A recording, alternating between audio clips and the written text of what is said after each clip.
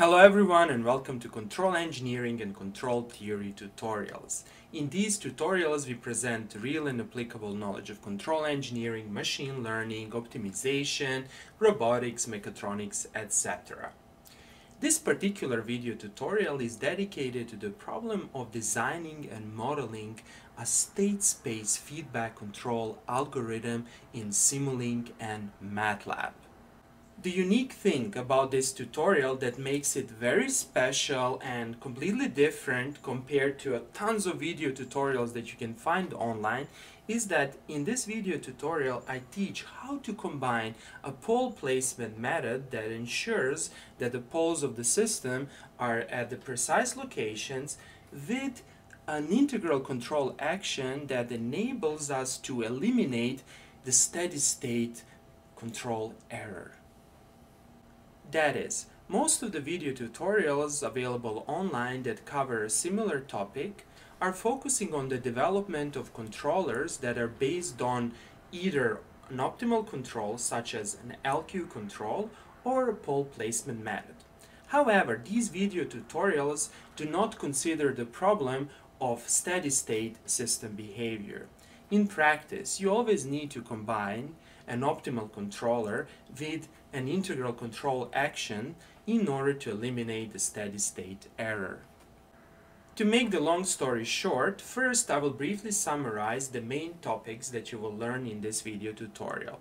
We will start with a simple test case shown over here. It's a mass spring damper system driven by the force F. Then we will develop a state space model of such a system given by the equations 2 and 3.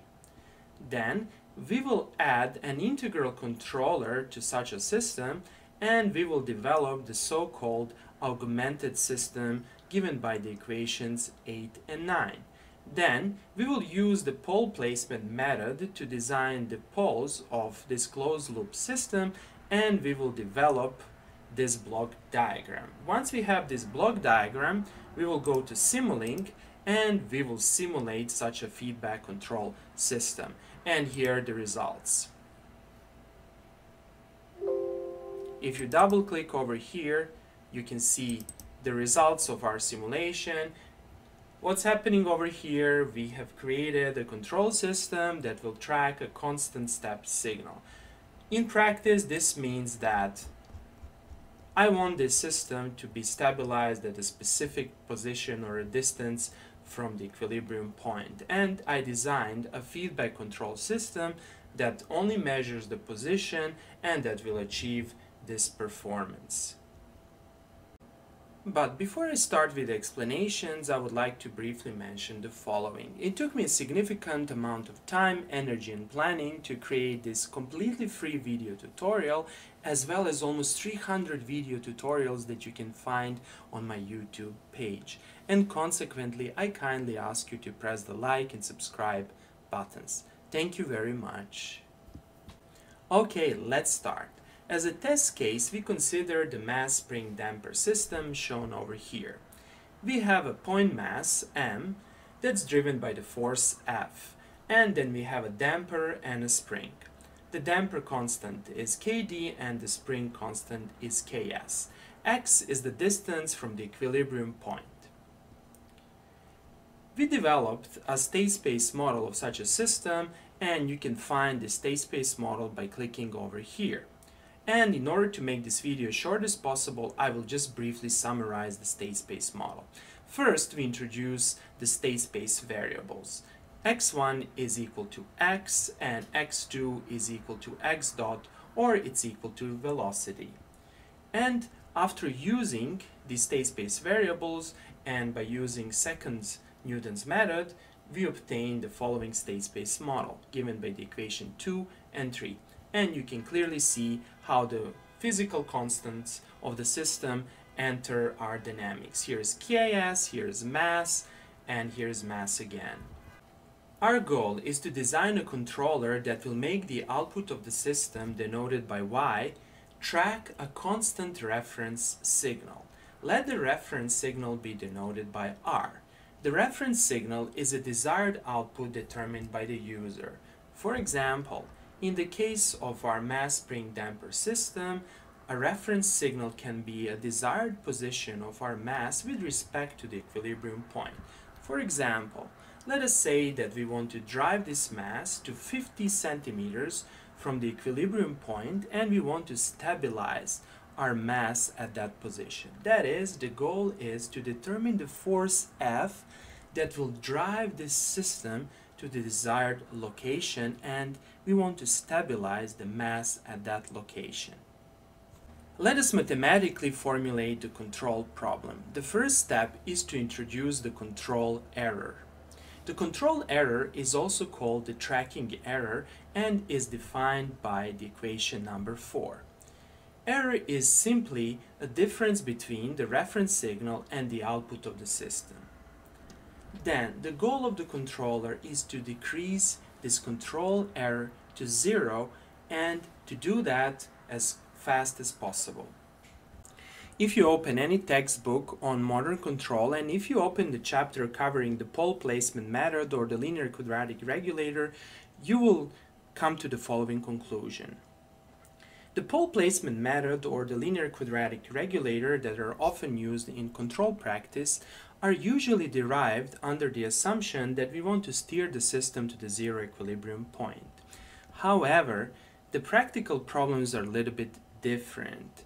Usually, we want to steer the system to the desired location that's not necessarily the equilibrium point. To make sure that we can achieve the desired control objective, we need to somehow modify our pole placement method or linear quadratic regulator. And we do that by adding an integral control action. The integral control action will make sure that the steady state error will converge to zero. We add an integrator by augmenting our original state space model with the state of the integral controller. Let us introduce a new variable denoted by xi. xi is defined as an integral of our control error. By taking the first derivative of the equation number 5, we obtain the equation number 6. Then, by substituting y for cx in the equation number 6, we obtain the equation number 7. Then, let us combine the equation number 7 with our state space equation. Consequently, we obtain the system of equations given by the equation number 8. These two equations can be written in the compact form, given by the equation number 9. And furthermore, we can simply say that this is AA, this is BA, and this is BR. In this tutorial, we assume that the state vector of the augmented system XA is known. In our next tutorial, we will relax this assumption by introducing a state observer. That is, for the time being, let us not worry about observers and let us assume that the state of this augmented system is perfectly known. Under this assumption, we can design a state feedback controller that will place the poles of the closed loop system at the desired locations in the complex plane. For example, to place the poles at the desired locations, we can use the MATLAB function place, and I will explain that in the second part of this tutorial. The pole placement method designs a feedback control law given by the equation number 12. Let us decompose this control law and let us analyze it. The matrix K can be augmented, or better to say, partitioned as kx and ki. Then, by using the definition of our augmented state, given by this equation, we can obtain the equation number 14. And if we multiply this matrix by this vector, better to say these are the block matrices and block vectors, we obtain this equation. And finally, our control law has this form. This part is a state feedback, that is the state of the original system, and this part is the integral control. In the second part of this video tutorial, we will model and simulate the system in Simulink. But before we do that, it's very important to develop a block diagram of the system and the block diagram of the control algorithm. And here is the block diagram of the complete closed loop system. This part is our open loop state space equation. That is, this part corresponds to x dot is equal to ax plus bu. This is our output, and output is equal to c times x. This feedback given over here is this part over here.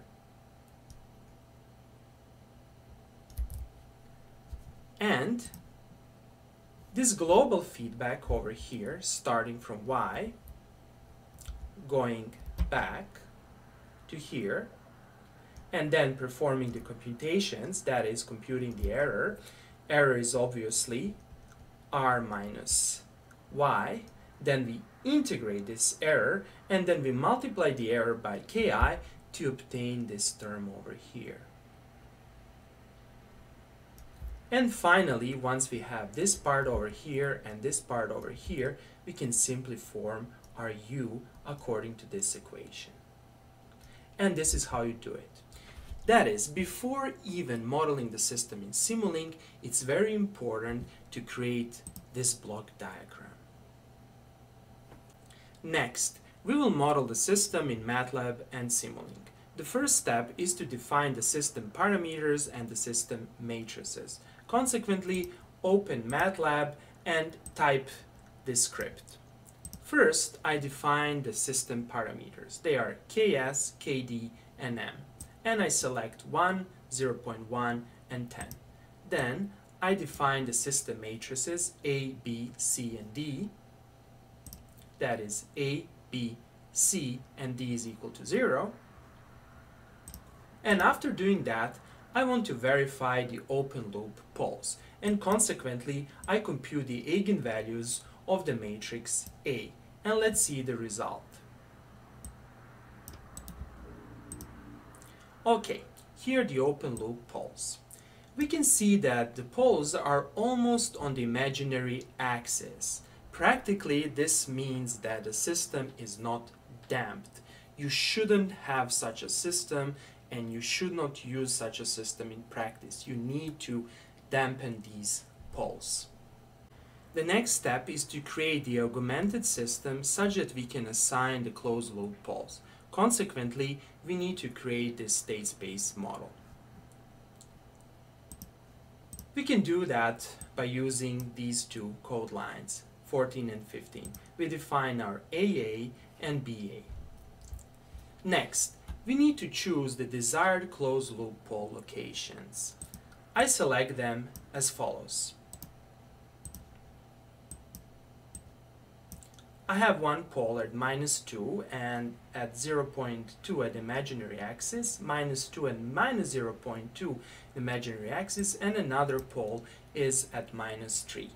Okay. Next, we use the place command to place the closed loop poles at the desired locations. Consequently, I call the MATLAB function place. I specify my AA, BA, and I specify the desired closed loop poles. And let's see the results. Okay, here's my K matrix, and if I go back to my web page, here's the K matrix. And that's precisely the K-matrix calculated by MATLAB over here.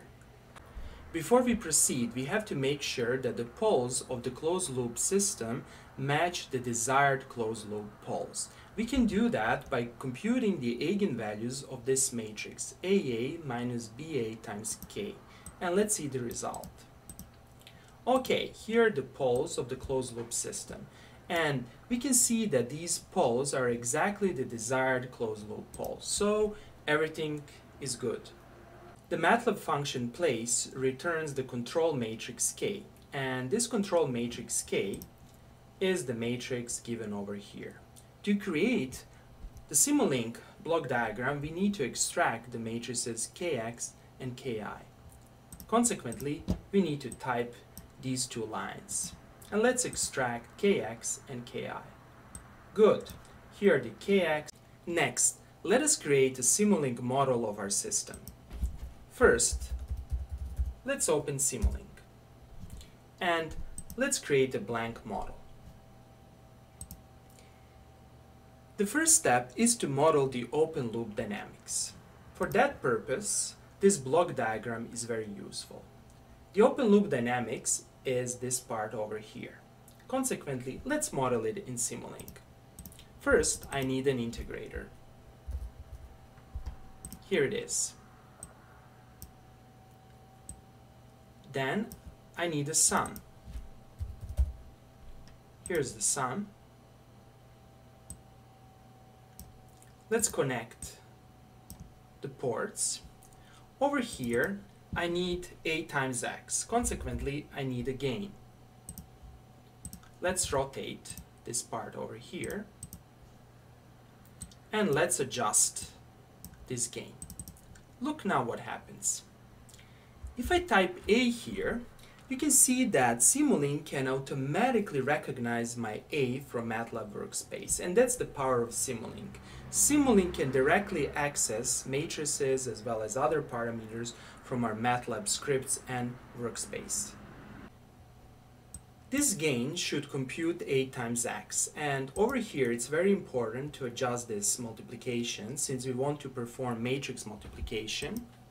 Click on OK. Then connect the ports.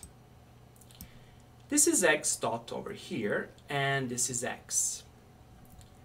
Next, let's connect this part over here.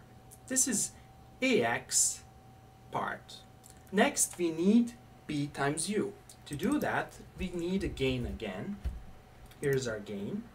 Double click on gain and type b over here. Make sure that you adjust the multiplication and here's the b times u part. Okay, now we need c times x. Again, type gain, double click, and this is our C matrix. Click on OK. However, again, make sure that multiplication is properly set. connect the parts, and this is our output. Here we will stop for a second and we will double check all the blocks. Double click over here, make sure that this is B and that we perform, perform multiplication. Good. Double click over here, matrix A, multiplication, perfect. And double click over here and make sure that we have matrix C and multiplication, perfect. Now, a good practice is to name the blocks. For example, you can name this line. This line is our x. This is our output. You can call this part, for example, y by double clicking below.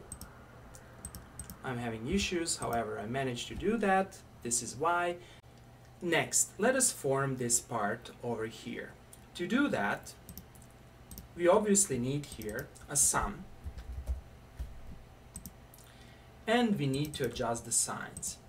Here we, we will have minus and you can also look back to our block diagrams and you will see that we have another minus over here. Consequently, we need to completely change this block. Minus, minus.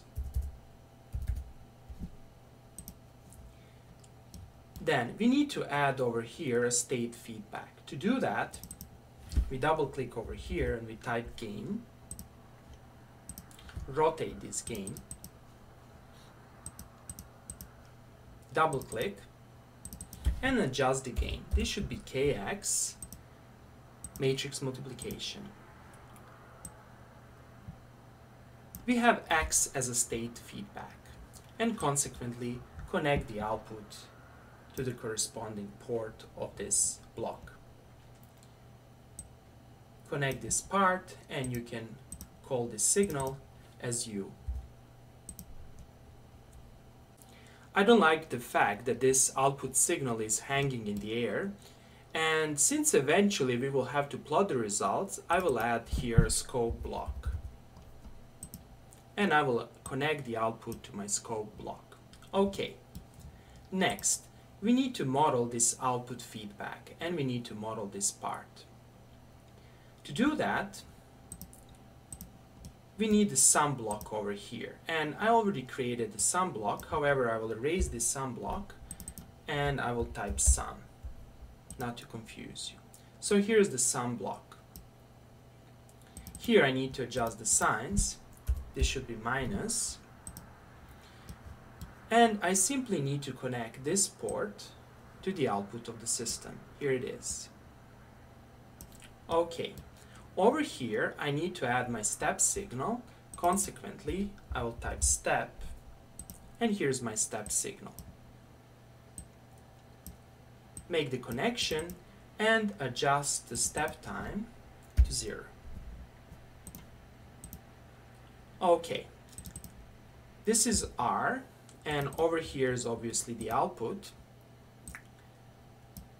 Let us expand this part over here since we need to add two blocks over here. And let's analyze our block diagram.